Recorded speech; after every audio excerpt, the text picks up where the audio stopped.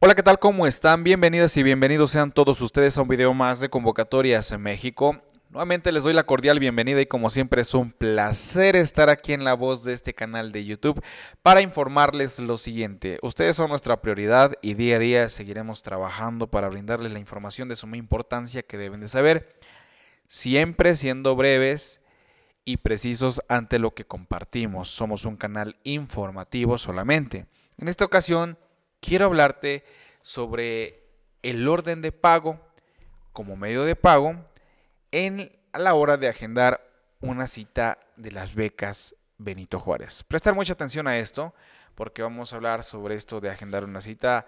La mera verdad eh, ha sido un poco fastidioso y estresante eh, esta etapa de, de, pagos porque no hay notificaciones en cuanto a lo que a los problemas que ha habido en las páginas de oficiales para checar el estatus, eh, para realizar citas. Entonces, pues sinceramente los comprendo, pero para eso estamos nosotros, para poder aclarar este tipo de dudas.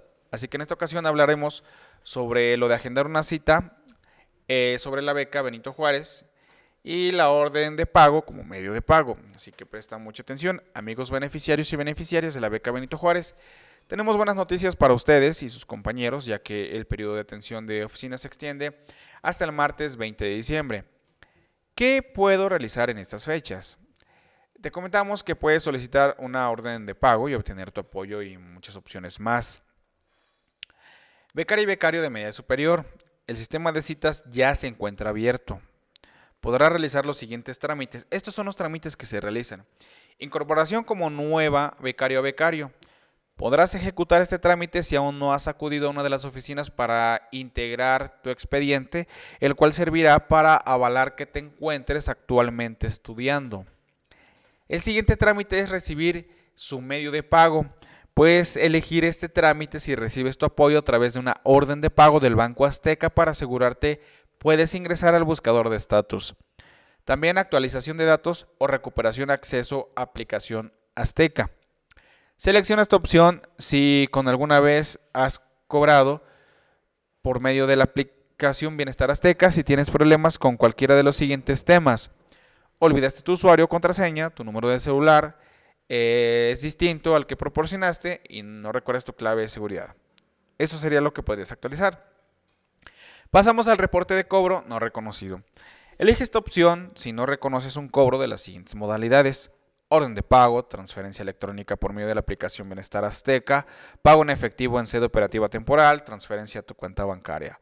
O al igual que también quejas, denuncias o inconformidad. Esta opción es para aquellas personas que deseen realizar una queja, denuncia o inconformidad de manera presencial. Y para poder ejecutar el trámite es necesario que agendes una cita en la plataforma. Miren, muchos usuarios, eh, estudiantes, también han tenido problemas con esto que justamente estoy presentando aquí. ¿sí?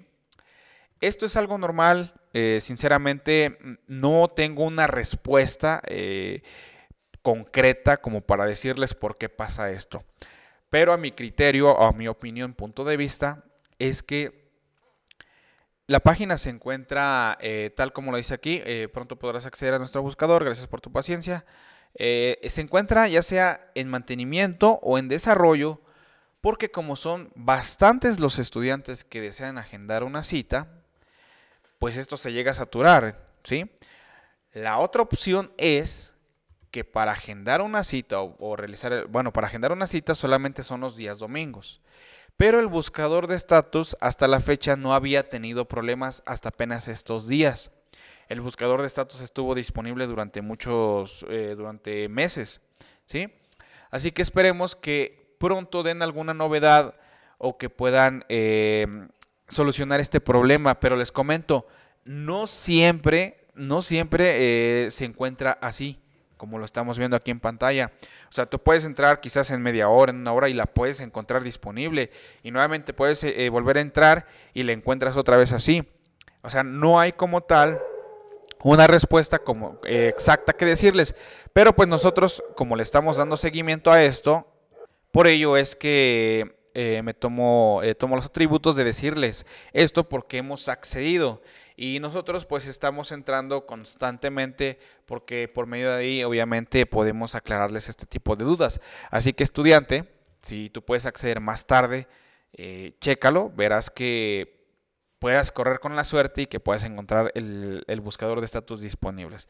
Así que también algo muy importante que debes de saber es que si ya no eres becario becario, pero al ingresar al buscador de estatus ves que tienes becas pendientes por cobrar, puedes agendar una cita para recibirlas, ¿de acuerdo?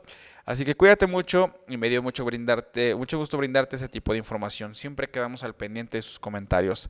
Hasta pronto.